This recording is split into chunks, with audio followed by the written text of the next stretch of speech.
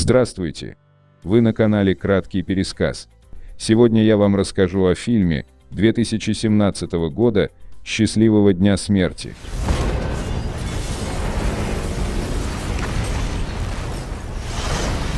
Девять часов утра. Девушка по имени Триш просыпается в комнате общежития у парня по имени Картер после жуткой пьянки. Девушка ничего не помнит о вчерашнем дне. Она просит Картера никому не рассказывать о том, что она проснулась у него.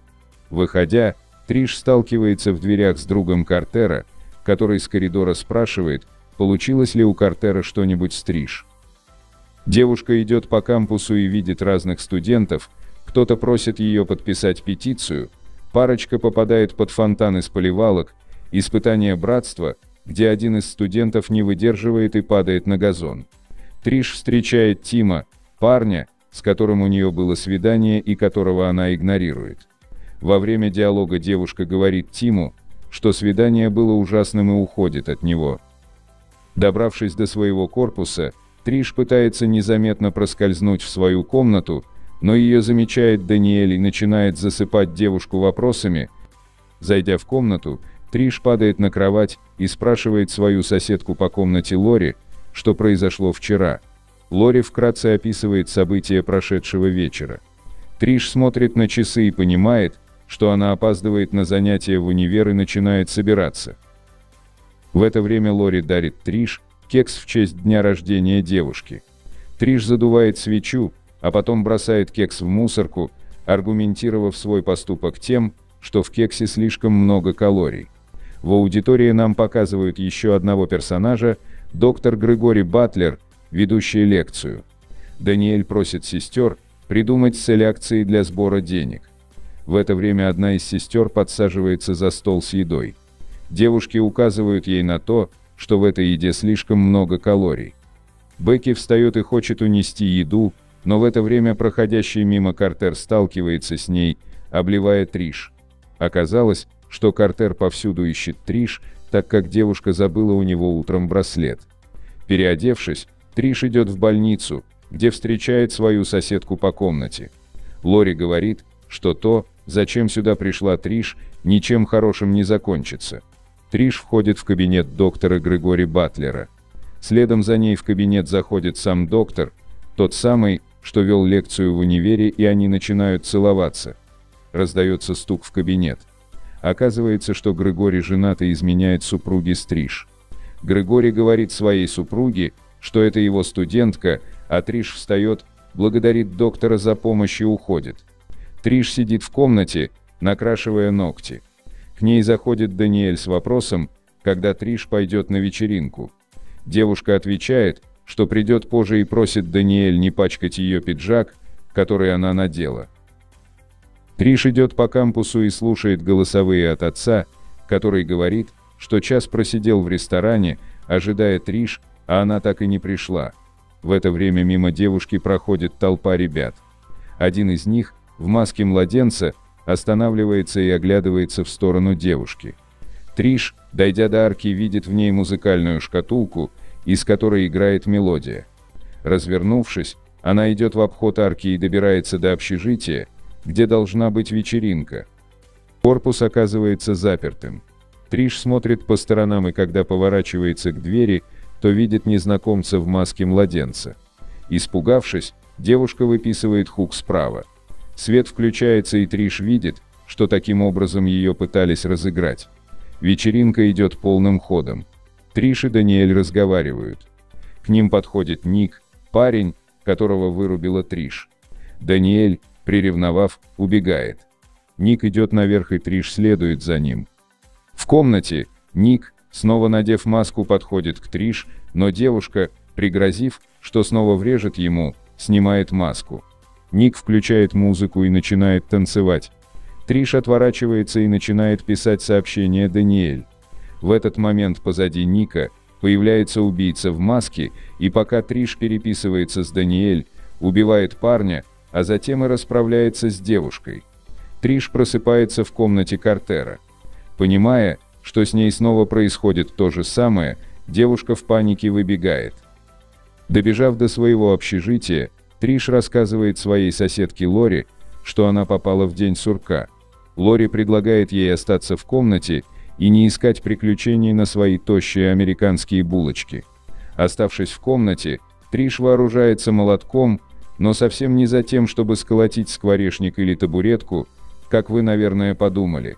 Но и это ее не спасает, убийца в маске снова наносит свой удар.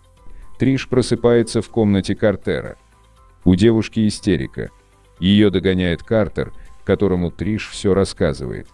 Парень помогает Триш сузить круг подозреваемых, которых оказывается вагон и маленькая тележка. Триш составляет список потенциальных убийц и решает проверить каждого. С каждым днем Триш решает попробовать что-то новое. После нескольких неудачных попыток найти убийцу, Триш просыпается в комнате Картера и теряет сознание. В больнице, куда ее привезли, ее снова находит убийца в маске. Триш удается от него сбежать на автомобиле Григори, у которого она стащила ключи. Радостную, что на этот раз ей удалось сбежать от убийцы, девушку останавливает полицейский. Триш рассказывает ему, что она употребляла алкоголь в надежде, что полицейский арестует ее, и таким образом она будет защищена от убийцы. Но как только коп сажает Триш в автомобиль, его сбивает убийца в маске. Запертую в полицейской машине девушку, убийца взрывает с помощью топлива, текущего из бензобака полицейской машины. Триш просыпается в комнате общаги. Она снова рассказывает Картеру о дне сурка, и чтобы доказать, что она проживала этот день, указывает ему на события, которые она уже видела. Сидя с Картером в кафе, Триш видит по телевизору сюжет новостей о убийце девушек, который находится в местной больнице на лечении. Девушка бежит в больницу предупредить, что он может сбежать. Зайдя в палату, Триш видит убитого полицейского, а за спиной у нее оказывается убийца в маске. Добежав до лифта, убийца догоняет девушку, но в этот момент его сбивает с ног Картер, которому убийца ломает шею. Спрятавшись в колокольне, Триш поджидает своего убийцу и вырубает его гвоздодером. Но затем понимает, что если она убьет убийцу и день продолжится, то Картер будет убитым. Поэтому она решает покончить с собой, чтобы начать день заново. Проснувшись в комнате Картера, Триш тратит день на то, чтобы исправить все ошибки, она просит прощения у соседки по комнате Лори, обливает шоколадным коктейлем надоедливую Даниэль, а также встречается с отцом, которого избегала. Вечером Триш решает покончить со своим убийцей и наведывается в больницу до того, как тот убьет полицейского и сбежит. Отняв у копа пистолет, она заходит в палату и пытается застрелить убийцу. У нее не получается. В этот момент убийца выбивает у нее пистолет. Бросив Триш стену, он достает нож из двери. Отключается электричество и наступает полная темнота, а когда свет включается, то девушка исчезает. Триш оказывается позади убийцы с пистолетом в руках. Она стреляет в него несколько раз, прикончив.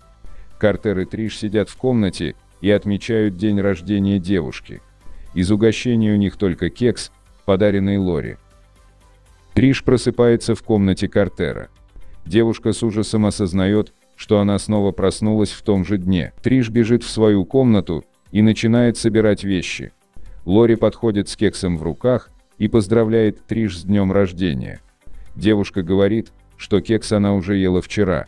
В этот момент до Триш доходит, что раз ее никто не убивал, то скорее всего она отравилась кексом.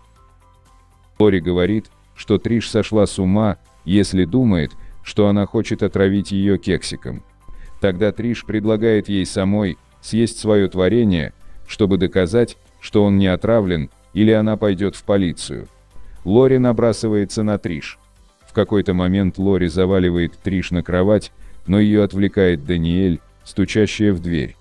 Триш бьет Лори в горло, а затем сбрасывает ее из окна общаги. После этого Картер и Триш сидят в кафе.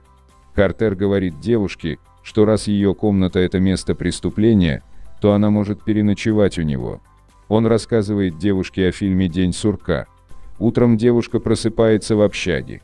Услышав знакомый звонок, который будил ее все эти повторяющиеся дни, Триш хочет закричать от ужаса, Но Картер вовремя сознается, что это он затеял розыгрыш со звонком, и что сегодня наступил следующий день. На этом все. Спасибо за просмотр. Всем пока.